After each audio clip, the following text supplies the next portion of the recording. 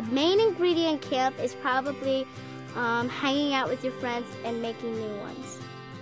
Every day you're with your best friends and you wake up with them and you spend all your time with them and you're never alone. At camp, we're like one big family.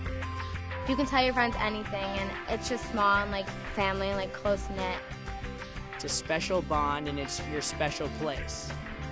They're always there by your side, and they pretty much will be the people who will understand you the best in your life.